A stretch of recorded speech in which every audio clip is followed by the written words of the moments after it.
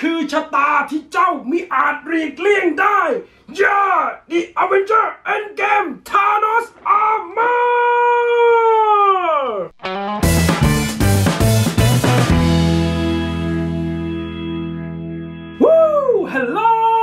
วัสดีครับ What's up guys สวัสดีน้องๆท่านผู้ชมทุกๆคนเลยนะครับผม จากการที่เราโพสต์คลิปกันไปในรายการโชว์ของ Day นะครับผม มีเสียงตอบรับและกระแสมากมายทั้งใน Facebook Messenger หรือในสถานที่ต่างๆ ที่พี่ต้นได้บอกได้พูดคุยกันผ่านทาง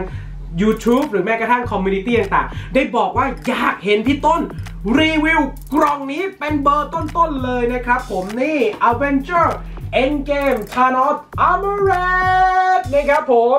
ตัวนี้เป็นสินค้านะครับ จากบริษัท Beat Kingdom นะครับผมที่ออกในช่วงของ Avenger Endgame เป็นรหัส8 Attack EAA 079 แบบนี้เลย นี่เห็นไหมครับน้องๆ ชื่อว่า Avenger Endgame a m r e t Thanos นะครับผม ออกมาในช่วงของ 10 ปี Beat Kingdom พอดีเลยนะครับผม ซึ่งกล่องนี้บอกได้เลยว่าในประเทศไทยนะครับ มีขายน้อยมากนะครับผมและที่สำคัญเลยนะครับน้องๆ ที่ติดตามคลิปพี่ต้นอยู่ตอนนี้นะ ถ้าเกิดสนใจ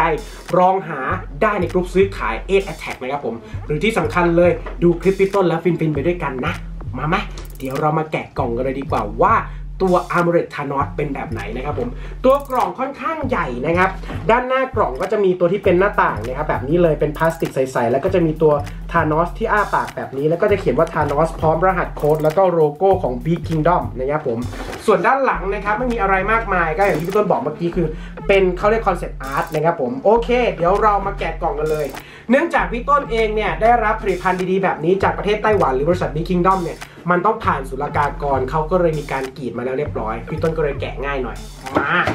นะครับด้านในกล่องจะเป็นแบบนี้นะครับเดี๋ยวพี่ต้นดึงออกมาให้ดูนี่นะครับค่อนข้างใหญ่นะครับ แต่ข้างในเองเนี่ยต้องบอกเลยนะครับว่าใช้พื้นที่ค่อนข้างจะไม่คุ้มนะครับคำว่าไม่คุ้มในการใช้พื้นที่คืออะไร เดี๋ยวขอเอาทานอสตัวนี้มาวางนี้ก่อนนะครับคืออย่างนี้ครับน้องๆพี่ต้นขออนุญาตเอานี้ออกก่อนนิดนึงด้วยนะครับคือด้านในเนี่ยเขาให้มาเป็นแบบนี้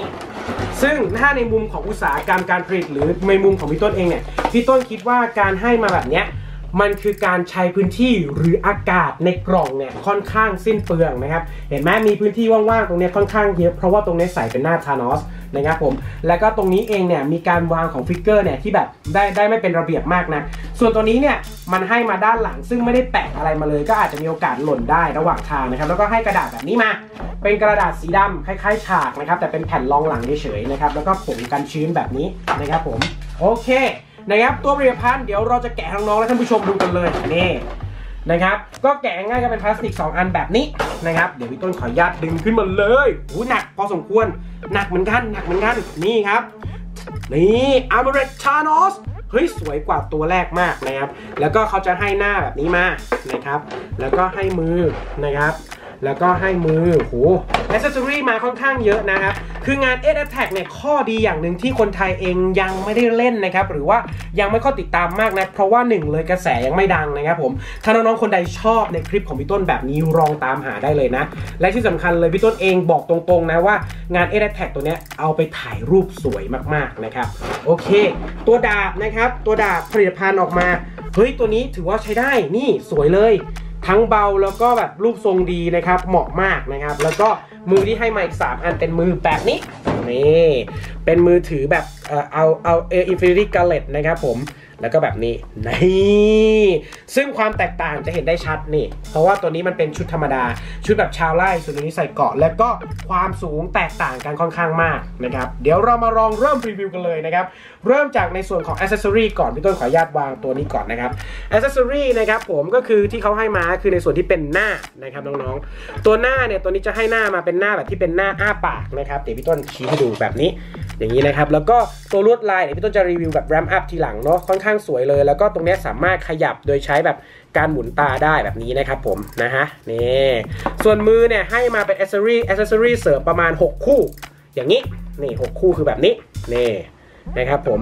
นี่แบบนี้คือ 6 คู่แบบนี้แล้วก็ให้มือแบบนี้มาอีกหนึ่งอันเป็น 7 พร้อมมือกำปั้นแบบนี้ที่แบบไม่มีถุงมือเหมือนในหนังเป๊ะๆเห็นปะเป็นแบบแบบนี้เลยนะครับ ทั้งหมดมือให้มา 8 อันน้องๆ แต่ที่ขาดไม่ได้เลยนี่ครับ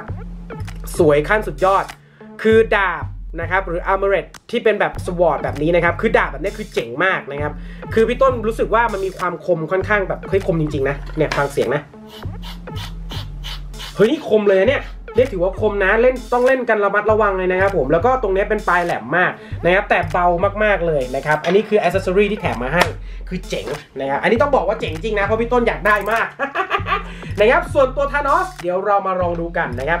ตัวธานอสพี่ต้นขออนุญาตจัดท่านิดนึงก่อนนะครับเพราะมันยืนยากมากนะครับโอเค ตัวธานอสนะครับในความสูงของพี่ต้นเนี่ยพี่ต้นมีมีลักษณะที่สูงประมาณ 6 นิ้วนะครับผมด้านข้างเป็นแบบนี้นี่นะครับแล้วก็ด้านหลังเป็นแบบนี้คือเหมือนนะพี่ต้นว่าเหมือนตรงนี้แหละเหมือนเลยเดี๋ยวเรามาแลนอัพกันอีกทีหนึ่งแล้วก็ข้างขวาเป็นแบบนี้นะครับนี่นี่คือภาพโดยรวมของธานอสนี่แต่ตัวนี้ตามันแบลไปนิดนึงแล้วยิ่งแม่ปากนี่ยิ่งแบลเลยนะครับโอเค เดี๋ยวเรามาลองบิดมาขยับกันดีกว่านะครับ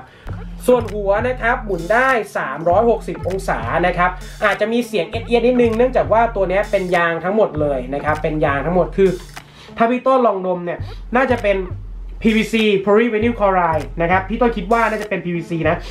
นะเพราะว่าตัวนี้เนี่ยมันมันมันค่อนข้างมีกลิ่นเปรี้ยวนะครับผม ส่วนตัวนี้ไม่แน่ใจว่าถอดเฮ้ยถอดหมวกได้เฮ้ย ขอญาตนะน้องๆ นั่นแน่พอถอดได้ ฉันก็เอามาใส่ตัวนี้ซะเลยนะ เฮ้ยเจ๋งอะนะครับพอถอดหมวกมาคือสวยมาก คือตัวเนี้ยหมวกอะมันจะไม่เหมือนกับงานที่เป็นงานของ Avenger ที่เป็น Marvel Legends เพราะตัวเนี้ยเป็นหมวกเต็มใบนะครับผม จะทรงคล้ายๆกับหมวกของ Magneto นะครับผมใน X-Men ค่อนข้างเยอะเลย ตัวนี้เป็นยางหรือเปล่าพี่ต้นขออนุญาตลองบีบดูก่อนนะ นี่ครับเป็นยางนี่บีบให้ดูเลยจะได้รู้กันว่าเป็นยางนะครับ ตัวนี้เป็นยางทรงแข็งน่าจะเป็น polycarbon นะครับพี่ต้นขอดูก่อนนะครับ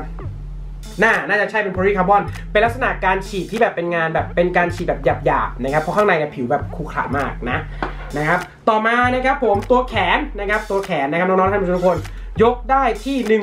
180 องศานะครับแบบนี้เลยนะครับนี่เห็นไหม แบบนี้เลยนะครับ ส่วนตัวนี้นะครับมีใบเสร็จไหมเดี๋ยวเรามาดูกัน ตัวนี้นะครับไม่มีใบเสร็จนะครับ ข้อต่อเป็นลักษณะข้อต่อแบบนี้ครับเป็นบอลจอยอิสระนะครับผมนี่อย่างนี้เลยเป็นแขนที่เห็นเห็นทรงจักรแลปะนะครับเพราะฉะนั้นถ้าเป็นแบบเนี้ยเราต้องลองขยับแบบโดยการหมุนไหล่นะครับไหล่นะครับถ้าเรามองหมุน ไปข้างหลังได้ที่ 180 แล้วก็ไปข้างหน้าได้ที่ 180 แต่คราวนี้มันหมุนไม่ได้เพราะว่าอะไรเพราะว่าติดตัวเกราะตรงนี้ เลยทำให้หมุนไหลไม่ได้นะครับผมแต่คราวนี้เรามาดูตัวแขน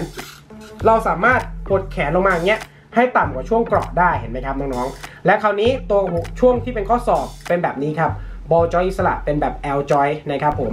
ส่วนข้อมือนะครับผมข้อมือหมุนได้3 6 0 ค่อนข้างหลวมนะ พี่ต้นมีความรู้สึกว่าค่อนข้างหลวมนะครับน่าจะเป็นเพราะว่าข้อต่อมันได้เป็นข้อต่อเล็กแบบเนี้ยเห็นไหมครับมันเลยรู้สึกว่ามีความหลวมพอสมควรนะครับข้างนี้ก็เป็นเช่นเดียวกันเนาะเป็นลักษณะที่เป็นแบบ ball joint แล้วก็เป็นข้อต่อแบบ L จอยเหมือนกันนะครับส่วนช่วงนี้ครับที่เราเรียกว่าช่วง chest หรือช่วง body ช่วงอกไม่มีการเป็นแบบจุดขยับเลยไม่มีจุดขยับนะ แต่ถ้าเป็นช่วงเอวล่ะเอวสามารถก้มได้ไหมเออก้มไม่ได้นะครับ เพราะว่าติดนี่ครับช่วงนี้นี่เห็นไหม ช่วงนี้คือเป็นช่วงเกราะอ่อนเห็นไหมครับมันจะติดช่วงนี้พอเวลาเราก้มเนี่ยเกราะท่อนนี้จะติดกับท่อนนี้นะครับเลยก้มไม่ได้ถ้าเป็นแบบหงายไปข้างหลังล่ะหงายไปข้างหลังได้ประมาณนี้นะครับเนี่ยได้แค่นี้เกิดก็เช่นเดียวกันคือติดช่วงนี้ทั้งหมดเลยนี่เห็นไหมครับน้องๆแต่คราวนี้พอเวลาเราแอนไปข้างหลัง มันจะเป็นรูแบบนี้ให้เราเห็น ซึ่งเนี่ยพี่ต้นคิดว่าความเจ๋งขอนี้ พี่ต้นอยากหาวิธีแกะมากๆ เพราะว่าข้างในมันคือชุดเดียวกันกับอันนี้นี่ครับพี่เบ๋ ให้เบ๋ลองซูมนี่ครับ มันเป็นชุดเดียวกันกับนี้เลยนี่ แต่อันนี้เป็นสีดำเห็นไหมเพราะฉะนั้นพี่ต้นคิดว่ามันน่าจะถอดเกราะได้ ขอดูก่อนว่ามันถอดได้ไหมถอดได้ไหมเนาะพี่ต้นว่ามันน่าเฮ้ยมันถอดได้น้องๆ แต่คราวนี้อ๋อนี่ครับนี่ครับ ถ้าเราถอดเราจะเสียหายหลายหลายอย่างเลยคือ1มันติดกาวมาด้านในนี่ครับมันติดกาวมาด้านในตรงนี้ นะครับ ข้างในตรงนี้มีรอยกาว 2 ก็คือตัวนี้มันเป็นติดกาวแบบเป็นหลุมที่ตูด เพราะฉะนั้นเนี่ยบ้านเห็นรอยกาวขาวๆไหมถ้าเราถอดคือต้องถอดทั้งหมดคราวนี้ตัวนี้จะถอดออกมาจะไม่ใช่กางเกงแบบนี้แหละ จะเป็นแบบขาวๆอย่างนี้เลย ซึ่งน่าจะเป็นน่าเกลียดมากๆเลยนะครับ ต่อมาช่วงเอวหมุนได้ไหมเอวหมุนได้แค่นี้นะครับ เพราะติดเกราะเหมือนกันนะครับ ซ้ายขวาหมุนได้แค่นี้นะครับ ส่วนขาโอ้เฮ้ยขยับยากมากขอเวลาเลยอย่างนี้ไม่ได้เลยจริงๆนะครับพี่ต้นจะต้องขอเวลาขยับนี้ก่อนนะ เนี่ยอะขากลางได้ประมาณนี้ เพราะว่าเราติดเกาะด้านข้างนี้เห็นไหมครับ เนี่ย คือแน่นมากไม่รู้ว่าข้างหน้าจะมาได้หรือเปล่าเดี๋ยวพี่ต้นขออนุญาตลองขยับดูก่อนอุ้ยไม่กล้าอ่าได้ครับได้ประมาณนี้ประมาณ 65 องศานะครับน้องๆ ส่วนขาท่อนนี้นะครับที่เราเรียกว่าข้อเข่าเป็นแบบ L joint นะครับผมตัวกรอบเป็นแบบนี้ นะครับเป็นลักษณะทรงที่แยกออกมาจากตัวท่อนขาที่เป็นเข่านะครับผมส่วนตัวเท้านะครับขยับได้ขึ้นลง แล้วก็มีท่อนตรงนี้ขยับอย่างนี้ได้นะครับ ไว้สำหรับเหมือนเล่นท่าอย่างนี้ได้เนี่ยอย่างเงี้ยนะครับโอเค เจ๋งเจ๋งพี่ต้นว่าเจ๋งนะครับโอ้โหถือว่าแน่นมากข้างนี้ละข้างนี้ขยับได้เหมือนกันนะครับไอ้อย่างเงี้ยเวลาที่เรามีเสียงเงี้ยครับน้องๆสิ่งที่มันเกิดขึ้นคืออะไรตรงนี้ครับนี่ตรงนี้มันคือลักษณะถ้าตามหลักวิศวกรรมเนี่ยมันคือพลาสติก ที่มันเกิดการขบกันด้วยลักษณะที่ว่ามันแน่นนะน้องๆ พอเวลาพลาสติกมันเสียดสีกันอะ มันเหมือนกับเขาเรียกว่าอะไรนะ เราพูดภาษาหยาบๆเนี่ยเหมือนขาหนีบเราอะ ยิ่งเรามีเหงื่อเท่าไหร่ มันจะเสียดสีแล้วจะมีเสียง มันจะทำให้รู้สึกเหมือนเราแสบขาหนีบ เหมือนกันกับเนี้ย ถ้ายิ่งเสียดสีมากๆ มันจะมีเสียงเอียดๆนะครับผม เพราะฉะนั้นเนี่ย บางคนมักจะเอาไปต้มด้วยน้ำร้อนก่อน เพื่อให้การขยับมันสมูทขึ้นนะครับผม หรือใช้ไดร์เป่าผมเป่านะโอเค ต่อมาเดี๋ยวพี่ต้นขออนุญาตเปลี่ยนหน้าก่อนทืดดืดทืน ทืดดืดวิธีการดึงก็คือเราดึงตรงนี้ออกแล้วเขาจะมีร่องนี้ให้ให้เราแซะร่องออกมาอย่างนี้ นี่ฟึบมันก็จะมีแบบนี้ให้ใช่ไหมครับน้องๆท่านผู้ชมทุกคนนี่ลองดูนะเห็นไหมเป็นแบบนี้ เดี๋ยวเราจะปรับให้ทานอสตาเขนะครับ ดูกันนะครับ พี่ต้นก็จะบีบตรงนี้เข้าไปอย่างนี้อึ๊บอึ๊บไอ้ทานอสตาเลแล้วนี่ข้าคือโชคชะตาที่เจ้ามิอาจหลีกเลี่ยงได้ ข้าคือทานอสเบเบเบเบเบตาเขเลยนะครับเน่เห็นไหมคือตัวนี้ลูกเล่นมันคือตานะครับ คือเจ๋งนะครับพี่ต้นว่ามันมีงานอีกอันหนึ่งที่พี่ต้นชอบเหมือนกันคืองาน r e v o t e c h นะครับ r e v o t e c h ก็สามารถขยับตาแบบนี้ได้ เดี๋ยวเราขยับกลับไปเป็นเหมือนเดิมก่อนให้มันโหดๆนิดนึง อย่างนี้มันดูแบบมันดูไม่สะพรึงนะครับ อะพี่ต้นขออนุญาตขยับให้น้องๆดูก่อน อะอย่างนี้โอเคไหมครับนี่อย่างนี้โอเคไหม ถ้าโอเคลองคอมเมนต์บอกกันหน่อยนะ พี่ต้นไม่มองนะ โอเคฮึบอึบเวลาเรากดเนี่ยมันจะมีร่องนี้เราต้องกดให้แน่นๆหน่อย อ่า คราวนี้เรียบร้อยแล้ว คราวนี้เรามาลองเปลี่ยนมือ พี่ต้นไม่ค่อยชอบมือแบบนี้ พี่ต้นจะเปลี่ยนมือแบนะครับ เนี่ยครับ บอจอยมันจะเป็นบอจอยแบบเนี้ย มันจะเป็นบอจอยเล็กเล็กมากๆ พี่ต้นเลยคิดว่ามันดูหลวมนะครับผม อึ๊บ อ่า คราวนี้นะครับผม พี่ต้นจะเปลี่ยนมือตรงนี้เป็นมือจับอาวุธแบบนี้ นี่ อย่างนี้นะครับผมคราวนี้วิธีการจับอาวุธ เราควรใส่อาวุธก่อน สิ่งที่เราต้องทำคือเราต้องง้างตรงนี้ออกมาคราวนี้การง้างเนี่ยต้องระวังเห็นไหมครับ มันจะมีลักษณะที่ง้างแบบอย่างเงี้ยเล็ก ๆ คือการง้างแบบนี้ถ้าง้างไม่ดีมันหักทั้งอาวุธทั้งมือเลยนะ พี่ต้นก็พยายามใส่เข้าไปก่อนฮึบพี่ต้นกลัวมากๆเลยอึ๊บฮึบฮึบฮึบฮึบฮึบฮึบได้แล้วเห็นไหมครับ คราวนี้สิ่งที่เกิดขึ้นคือด้วยการที่มันลงสีแบบนี้ เห็นไหมสีที่นี้ด้ามจับมันเลยถลอกติดกับตัวนี้เลยเนี่ยคือความเฟลอย่างหนึ่งของการทำเขาเรียกว่า apparent เนื้อการลงสีต่างๆ มันเลยทำให้รู้สึกว่าสินค้าเนี่ยมันดูถลอกง่าย แต่แต่ในมุมพี่ต้นพี่ต้นคิดว่ามันเจ๋งตรงอย่างหนึ่งคือ ด้วยความที่กรอบมันอะมันเป็นกรอบแบบเออเขาเรียกว่ากรอบมันเหมือนกับเป็น เออเขาเรียกนะมันมี damage เออ มันก็เลยรู้สึกว่ามันไม่ใช่ไม่ได้ซีเรียสอะไรนะครับนี่เราก็ได้ Thanos แบบนี้ ต่อมาพี่ต้นก็จะสวมหมวกให้เขาเน่ Thanos ข้าคือโชคชะตา ที่พวกเจ้า พวกพวกเจ้า ไม่เป็นไรครับ เพราะว่าอันนี้มันเปลี่ยนได้ นี่ไงว้าเพราะพี่ต้นเองตั้งใจให้มันหลุดเพื่อเปลี่ยนใช่เหรอเน่ข้าคือโชคชะตาที่พวกเจ้าไม่อาจ รีกเลี่ยงได้ทานอสนี่ทุดดทุนทุดดทุทุนทุดดทุนทุดดทุทุดทุทุดดทุนทุดดทุทุนทุดดทุนทุดดทุทุดทุทุดดทุดดทุทุทุดด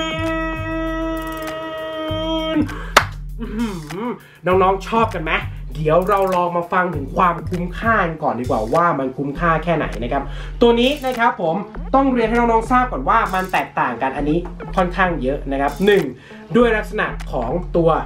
รูปลักษณ์ตัวนี้ใหญ่กว่าตัวนี้เล็กกว่าด้วยความเป็นกรอบ 2. คือตัวนี้เองเนี่ยได้ texture มาเต็มๆ เดี๋ยวเราฟังกันนะ พี่ต้นจะแยกเป็น 3 อย่างคือ texture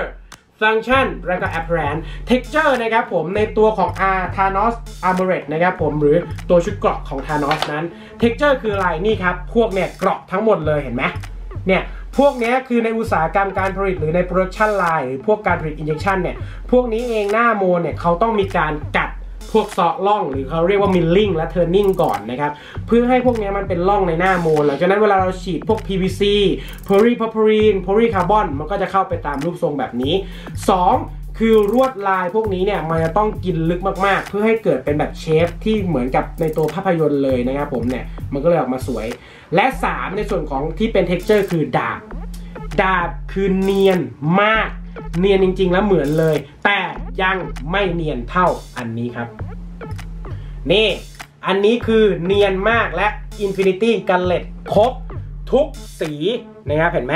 ดู texture ตรงนี้นะครับ ตั้งแต่ตรงนี้ขึ้นไปเห็นไหม มันจะเหมือนกับถุงมือที่พี่ต้นมีเลยนะครับ เดี๋ยวพี่ต้นให้พี่เบลองซูมขึ้นไป ข้างบนนู่นไงถุงมือของพี่ต้นเหมือนกันเป๊ะๆนะครับผมเนี่ยแหละคือ texture ที่พี่ต้นกำลังจะบอกนะครับ ต่อมาในเรื่องของ appearance การลงสีต้องยอมรับว่าแตกต่างกันกับตัวเก่ามาก ตัวเก่าแม้กระทั่งถุงมือจะเป็นสีทอง ซึ่งดูไม่ค่อยสมจริง เพราะทองแบบนี้คือหมายความว่า Thanos เองเพิ่งจะได้รับในส่วนของ Infinity Gauntlet คือตามเก็บพวกเม็ดหินสีพวกเม็ด Infinity Stone ครบแล้ว แต่อันนี้คือผ่านศึกสงครามมาแล้วแล้วย้อนเวลากลับมาเพื่อมาแก้สถานการณ์นะครับที่อเวนเจอร์กำลังรวมพลังกันนะครับและก็สีนะครับผมถ้าในมุมพี่ต้นนะพูดกันตามตรงเลยนะ สียังรงไม่เนียน โดยเฉพาะไอ้พวกที่เป็นสีทองเนี่ย มันจะทาออกมาเนี่ยโดนสีน้ำเงินทับค่อนข้างมาก และยิ่งตัวหมวกเนี่ย หมวกยิ่งทาไม่เนียนเลยนะครับ แต่ถ้าถามว่าพวกที่เป็นเรียกเรียกว่าดายลายเดคอเรชันหรือเนี่ยลายสีดำๆแบบเนี้ยคือว่าใช้ได้นะครับผม ในระดับการลงสีก็ถือว่าโอเคในระดับนิดนึงนะครับผมยังไม่ถึงกับดีมาก สุดท้ายฟังก์ชันนะครับคือจุดขยับพี่ต้นต้องบอกนี้นะ ไม่เหมือนกันกับตัวนี้เลย เพราะว่าตัวนี้ 1 ติดเกาะ 2 ติดเกาะคือติดพวกอาร์เมอร์ต่างๆ 2 คือจุดขยับเล่นยากนิดนึงนะครับผม เพราะว่าไอ้พวกเกราะทั้งหมดเนี่ยมันเป็นอุปสรรคให้ขยับได้ยากแต่จุดขยับทั้งหมดเหมือนกับตัวนี้คือมีจุดขยับทั้งหมดประมาณ 28 จอยนะครับผมแต่คราวนี้มันขยับยากอย่างอันเนี้ยขยับปุ๊บแขนจะหลุดออกมาพี่ต้นเลยต้องเปลี่ยน ส่วนตรงนี้ถ้าขยับปุ๊บไอ้ตัวเนี้ยจะขยื่นได้ เพราะมันเป็นยางนะครับ ส่วนหัวไหล่มันไม่สามารถหมุนได้ ขาเองก็ยกได้ไม่มากนะครับผมเนี่ยคือจุดขยับที่ยังเป็นข้อด้อยอยู่นะครับสำหรับตัว 8 Attack Thanos Armored แบบนี้นะครับผม ถ้าถามว่าคุ้มค่าไหมกับราคาต้องเรียนให้ทราบก่อนว่า ในประเทศไทยเองเนี่ยขายประมาณ 2,590 บาท ในราคามือ 2 จนถึงราคา 3,290 ในราคามือ1นะครับผม ซึ่งน้องๆคนใดสนใจนะครับผม และอยากได้ตัวนี้หรือตัวนี้นะครับผมลองแท็บสกินหน้าจอของพี่ต้นแบบนี้เลย และเข้าไปโพสต์ในลิงก์ด้านล่างนะครับพี่ต้นจะแชร์ลิงก์ของคนขายนะครับไม่ว่าจะเป็น ของ Toy ดีๆนะครับหรือไม่ว่าจะเป็นร้าน Toytopia หรือแม้กระทั่งกรุ๊ปซื้อขายเอ a t t a c k นะครับผมพี่ต้นจะโพสไว้ให้ หรือน้องๆคนใดสนใจ จะลองไปโพสเป็นภาษาอังกฤษลองหาสินค้าแบบนี้ในกลุ่มของ Beast Kingdom Global นะครับ พี่ต้นจะแชร์ลิงก์ด้านล่างด้วยนะครับผมลองโพสต์ได้เลย ลองแท็บสกรีนหน้าจอดีๆ แบบนี้ไปเลยนะครับ สุดท้ายนี้ The ต้น Hero Channel นะครับ อยากจะบอกว่าอย่าลืมนะครับ ขอหมื่นวิวกับคลิปนี้ และที่สำคัญต้องได้ 1,000 ไลค์ด้วย เราจะเอากิจกรรมมาแจกกันเลยแบบนี้ โอเคเปล่า และต้องติดตามคลิปพี่ต้นตลอดนะ สุดท้ายเลยครับน้องๆคนใด อยากให้พี่ต้นรีวิว 2 ตัวนี้ตัวใดก่อนลองคอมเมนต์บอกกันหน่อยว่าจะเป็น Spider Iron Spider-Man หรือกัปตันอเมริกาวิดวากันดาชิลแบบนี้ลองคอมเมนต์บอกใต้โพสกันเลยนะครับ ไปแล้วแหละรักทุกคนเสมออย่าลืมกดไลค์กดแชร์กด subscribe พร้อมสั่นกระดิ่งด้วยนะ และเข้าไปกดไลค์พร้อมกด see first ในเพจ Facebook กันด้วย ไปแล้วบ๊ายบาย I love you